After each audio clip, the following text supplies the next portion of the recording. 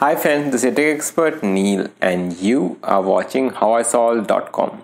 In today's video, I'll be covering a very basic topic that is how to transfer files from your pen drive to any computer, a laptop or a desktop. We'll be creating more such basic guides for first time computer users. So without wasting much time, let's get started. The first thing required to transfer files from your pen drive to your PC or a PC to your pen drive is to connect it to connect it you have to know which type of connector is, is it uses and how to expose that connector. Pen drive as you can see come in different shapes and sizes. Some of them can be connected directly without anything. There will be no cap or something like that. Some have got some have got this kind of mechanism of exposing the connector. Others have got a sliding mechanism like this. And some have got dual connectors to connect to different devices. So this pen drive has got a connector to connect to a mobile phone as well as PC and some have got a cap like this. So basically you have to first expose the connector that is the step one and you have to know which type of connector is you required to connect a pen drive to a PC. So we'll be looking at USB connectors. Currently there is a type C USB also available but this kind of connector will not be covering. So this will be the normal USB connector. One more thing that you should know about the pen drive that you are connecting is the size of the pen drive. In most cases, the pen drive size will be mentioned on the device itself. In this case, you can see this is a SanDisk pen drive. At the back of it, the size is mentioned.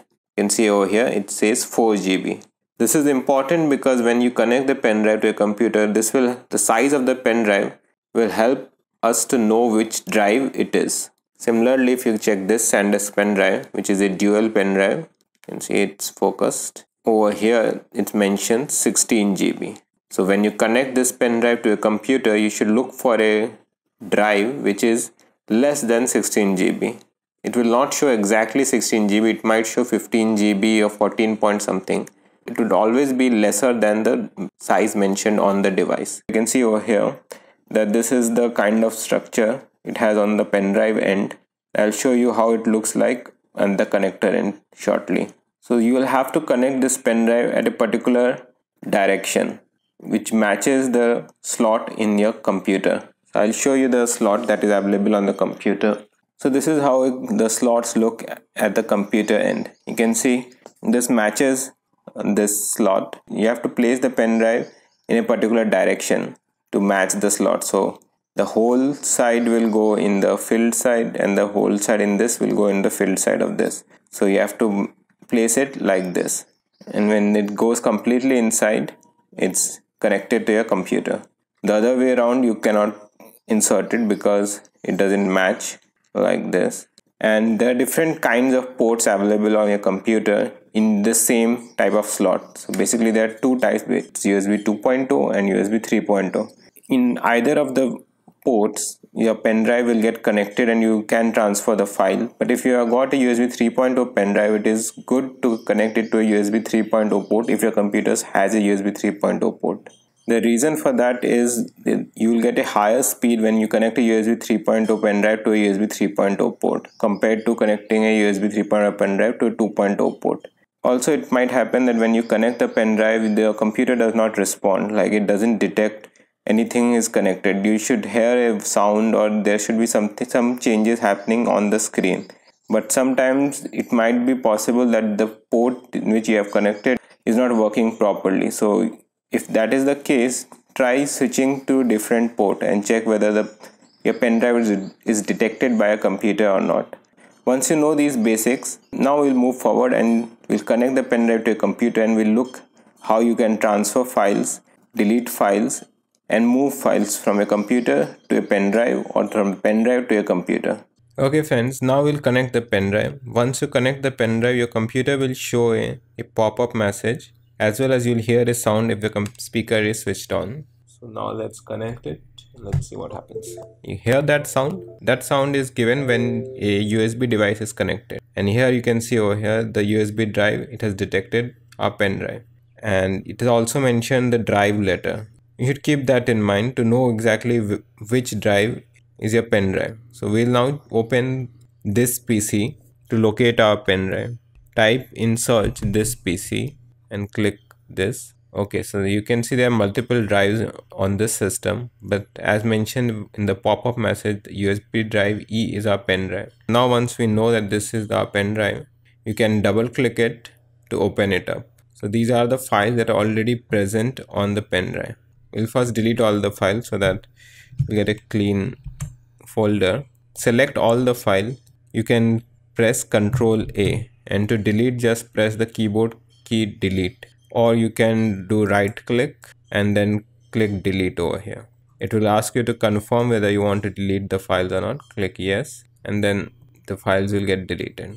Let's learn how to transfer the files from your computer to the pen drive once you have connected the pen drive to your computer the next thing is to go to the place from where you want to copy the files. Like suppose you have downloaded some files from the internet in your chrome browser or any internet browser then usually it is placed in the downloads folder over here. So from here you'll be copying the files. Once you, so you have to open the location and then go to the file which you want to copy hover your mouse over that file. And once it's selected you can right click and then select copy or you can hover the mouse and then press the keyboard shortcut for copying a file that is control c. So i'll do that. If you want to select multiple file then you can either drag the mouse like this press the left key and then drag the key pressing and drag the mouse like this. And then you can select the files like this. If you want to select all the files then as mentioned before the keyboard shortcut is control a. Or you can press the control button and then hover to the particular file that you want to select. So suppose i want to select only the first second and the fourth file. So you can hover the mouse over here click it left click it and then go over here left click it and then go over here while pressing the control key. So this is the different ways in which you can select files. Anyway so we will copy only a single file. Right click and copy or control c now we want to transfer the file to our pen drive. We already know the location of the pen drive that is the e drive. You can see over here the that drive is mentioned over here. So simply click over here and then to paste the file or to transfer the file you simply have to do right click and paste or the keyboard shortcut for it is control V like that. So like that it will get transferred. Now sometimes it happens that you want to delete the file from where you have downloaded it like suppose you have gone to cyber cafe and you have downloaded the files and now you don't want the files to be present on the computer and you just want to move the file. That means from the original place it has to be deleted and the, in the pen drive it has to be copied. So for doing that there is a single command. It's called cut. So simply again go to downloads folder and suppose you want to move this file this file to the pen drive and delete it from this location. So select the file and then press ctrl x and to transfer the file the command is the same. We have to paste it. But instead of copying the file we have cut the file. So the file original file will get deleted from the original location. So we'll do control v to paste. And now if you go back to the location from where we have cut the file you will see that the, the file is not present anymore over here because the file has been moved to the new location. You can also create folders to organize the file by right clicking and then select new and then folder. And you can type it any folder. I'll name it documents. And then to move the file in this simply select the file and drag it and over the folder. And it will say do you want to move the files to the folder? So you can drag and drop files like that. I'll copy a larger file so that we can see how windows shows the animation when the large file is being copied. So i'll simply again copy this file. This is a video file. It will take a longer time. So now same thing control v. And you can see over here this is the animation that windows shows when a file is being copied. So once this process is completed then you can remove the pen drive from your computer. But do not try to remove the pen drive when some files are being transferred to your pen drive. Otherwise the pen drive will get corrupted. So always keep that in mind. You can cancel this copy by clicking over here. And you can pause it by clicking over here okay now the file has been copied once the operation with the pen drive is finished, you can simply remove the pen drive from your computer. The better way of doing it is to select safely remove USB drive from your computer and that option will be shown down in the status bar.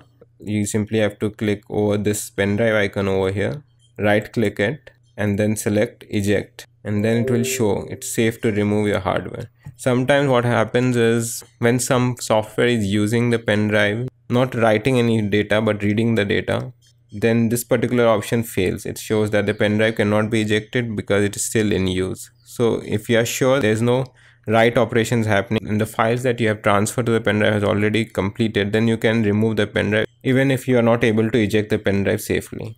I hope friends you like this tutorial if yes smack that like button share this video with your friends and family and don't forget to subscribe to our youtube channel howisolve.com we will be posting more such basic computer guides for newcomers. Keep watching howisolve.com